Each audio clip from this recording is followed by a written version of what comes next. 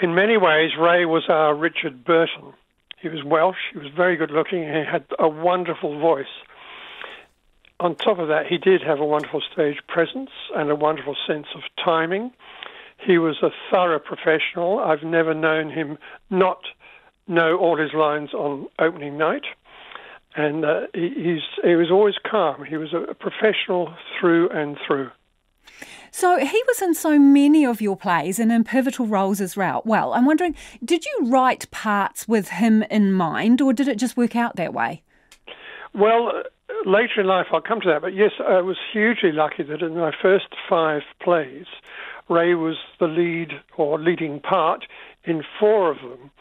Now, when I wrote Glide Time, there was a character called Hugh who came from Wales. And strangely enough, I didn't have Ray in mind, but looking back, he was so obvious. And then he was in Middle Age Spread, and then State of the Play in the lead. Um, but in later in life, uh, plays like um, Who Wants to Be a Hundred and Last Legs, as I was writing the parts, I thought, oh, this is just right for Ray. And it's a great help when you're writing to have somebody in mind uh, for that character. And it's happened, he, he was in both those plays. He had, well, he played a number of diverse roles because I was just looking back at some of the things. I mean, he was in Shortland Street, I'd forgotten that. And and obviously in um, various Peter Jackson movies and that yes. Moro ad that. Yes, um, well, Paul, he wasn't allowed to forget that, Ray. Somebody said as a scientist, I think it was Guy Ringer said to him, as a scientist, you shouldn't be doing this. However, he became uh, known as the Moro Man for quite a long time. Yeah, why why such a diverse um, uh, portfolio? Do you think? Uh, well, it's it's uh, easy to forget that he is a qualified scientist. Um, in terms of the, the um, so that was he had a very good background in, for teaching and things like that. Uh, in terms of his um, different roles, I mean, he he played uh, Einstein and Stalin and Churchill, and was convincing as all of them, which is a great tribute. I mean, I saw all those performances, and um, he, he was ter- just terrific. Did you know much of his early career? You mentioned the science there, and he was obviously a, a, chemistry graduate, and I think he came to New Zealand for, for a job teaching in science. Did you know much about uh, that part of his life?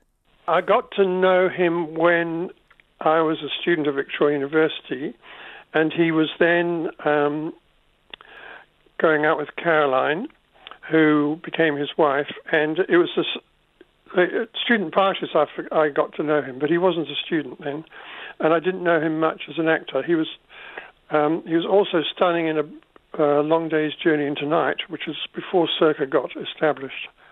And that's something else we have to thank him for. He was one of the co-founders of Circa Theatre back in 1976, uh, which was set up to sort of counter Downstage's monopoly and uh, in the end, in a sense, the tail began to wag the dog because Circa became more successful and has lasted to this very day. So, what do you think his legacy is? Well, he will be remembered mostly as a very fine actor. Um, of course, for his film and television performances, but mostly the ones on stage. I And that's when he was just held the audience, was always clear, credible, believable. He was, a, as I say, the consummate professional. So his death, I imagine, is a significant loss, apart from his friends and family, but to to the industry as well. It's almost the end of an era, that that uh, mid 1970s Wellington era. I was very amused to see that one headline said, uh, "Father of Dai Henwood dies."